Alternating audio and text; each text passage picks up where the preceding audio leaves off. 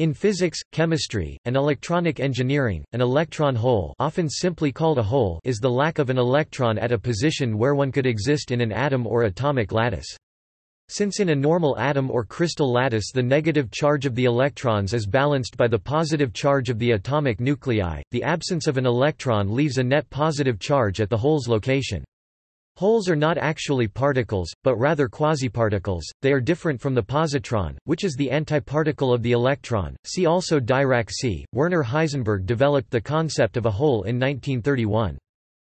Holes in a metal or semiconductor crystal lattice can move through the lattice as electrons can, and act similarly to positively charged particles. They play an important role in the operation of semiconductor devices such as transistors, diodes and integrated circuits. If an electron is excited into a higher state it leaves a hole in its old state. This meaning is used in Auger electron spectroscopy and other X-ray techniques, in computational chemistry, and to explain the low electron-electron scattering rate in crystals metals, semiconductors. In crystals, electronic band structure calculations lead to an effective mass for the electrons, which is typically negative at the top of a band.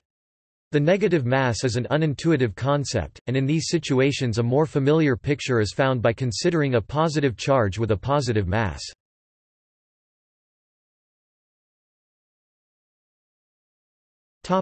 Solid-state physics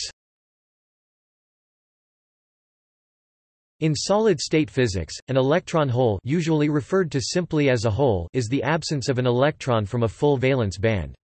A hole is essentially a way to conceptualize the interactions of the electrons within a nearly full valence band of a crystal lattice, which is missing just a few electrons. In some ways, the behavior of a hole within a semiconductor crystal lattice is comparable to that of the bubble in a full bottle of water.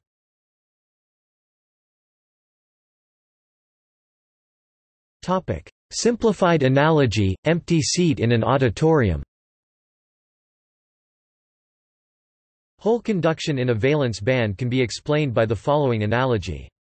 Imagine a row of people seated in an auditorium, where there are no spare chairs. Someone in the middle of the row wants to leave, so he jumps over the back of the seat into an empty row, and walks out.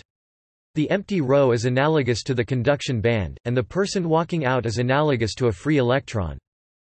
Now imagine someone else comes along and wants to sit down. The empty row has a poor view, so he does not want to sit there. Instead, a person in the crowded row moves into the empty seat the first person left behind. The empty seat moves one spot closer to the edge and the person waiting to sit down. The next person follows, and the next, etc. One could say that the empty seat moves towards the edge of the row. Once the empty seat reaches the edge, the new person can sit down. In the process everyone in the row has moved along. If those people were negatively charged like electrons, this movement would constitute conduction. If the seats themselves were positively charged, then only the vacant seat would be positive.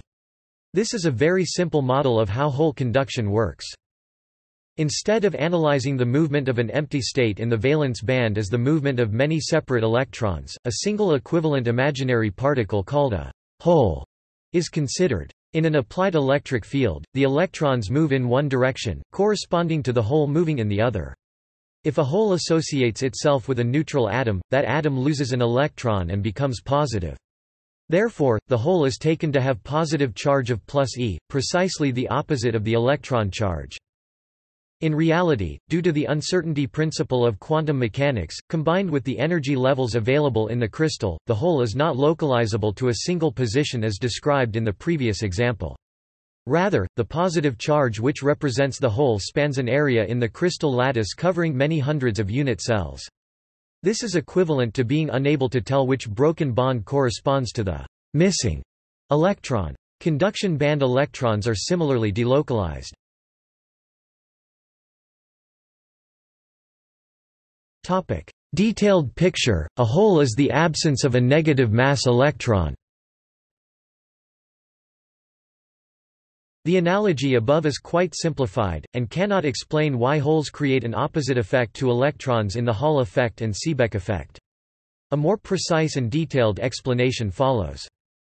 The dispersion relation determines how electrons respond to forces via the concept of effective mass. A dispersion relation is the relationship between wave vector, k vector and energy in a band, part of the electronic band structure. In quantum mechanics, the electrons are waves, and energy is the wave frequency. A localized electron is a wave packet, and the motion of an electron is given by the formula for the group velocity of a wave. An electric field affects an electron by gradually shifting all the wave vectors in the wave packet, and the electron moves because its wave group velocity changes. Therefore, again, the way an electron responds to forces is entirely determined by its dispersion relation. An electron floating in space has the dispersion relation E equals 2 k2, 2 meters, where m is the real electron mass and is reduced Planck constant. Near the bottom of the conduction band of a semiconductor, the dispersion relation is instead E equals 2 k2, 2 meters asterisk m asterisk is the effective mass, so a conduction band electron responds to forces as if it had the mass m asterisk. Electrons near the top of the valence band behave as if they have negative mass. The dispersion relation near the top of the valence band is E equals 2k2, 2 meters asterisk with negative effective mass. So electrons near the top of the valence band behave like they have negative mass. When a force pulls the electrons to the right, these electrons actually move left. This is solely due to the shape of the valence band, and is unrelated to whether the band is full or empty. If you could somehow empty out the valence band and just put one electron near the valence band maximum an unstable situation, this electron would move the wrong way in response to forces. Positively charged holes is a shortcut for calculating the total current of an almost full band. A perfectly full band always has zero current. One way to think about this fact is that the electron states near the top of the band have negative effective mass, and those near the bottom of the band have positive effective mass, so the net motion is exactly zero. If an otherwise almost full valence band has a state without an electron in it, we say that this state is occupied by a hole. There is a mathematical shortcut for calculating the current due to every electron in the whole valence band. Start with zero current the total if the band were full, and subtract the current due to the electrons that would be in each hole state if it wasn't a hole. Since subtracting the current caused by a negative charge in motion is the same as adding the current caused by a positive charge moving on the same path, the mathematical shortcut is to pretend that each hole state is carrying a positive charge, while ignoring every other electron state in the valence band. A hole near the top of the valence band moves the same way as an electron near the top of the valence band would move which is in the opposite direction compared to conduction band electrons experiencing the same force. This fact follows from the discussion and definition above. This is an example where the auditorium analogy above is misleading. When a person moves left in a full auditorium, an empty seat moves right. But in this section we are imagining how electrons move through k-space, not real space, and the effect of a force is to move all the electrons through k-space in the same direction at the same time.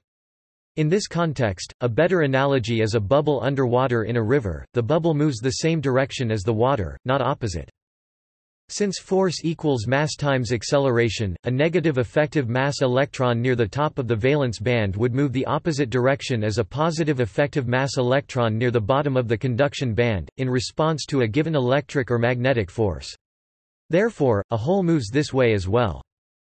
Conclusion, hole is a positive charge, positive mass quasiparticle. From the above, a hole 1 carries a positive charge, and 2 responds to electric and magnetic fields as if it had a positive charge and positive mass. The latter is because a particle with positive charge and positive mass responds to electric and magnetic fields in the same way as a particle with negative charge and negative mass. That explains why holes can be treated in all situations as ordinary positively charged quasiparticles.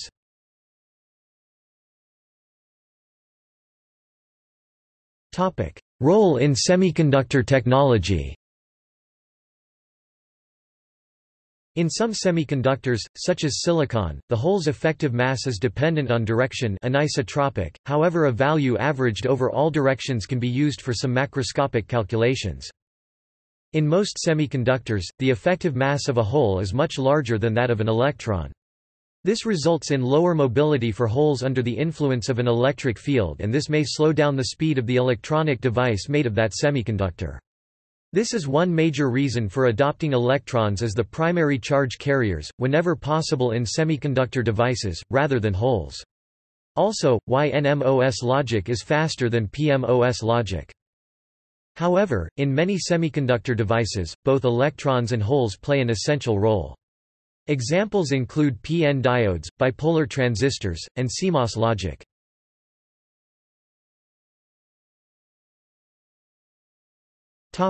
Holes in quantum chemistry An alternate meaning for the term electron hole is used in computational chemistry.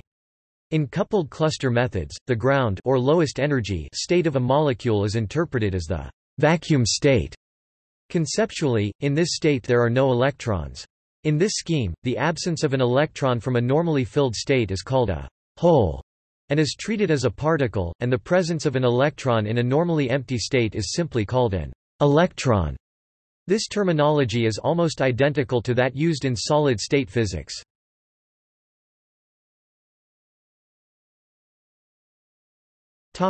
See also Band gap Carrier generation and recombination Effective mass Electrical resistivity and conductivity Hole formalism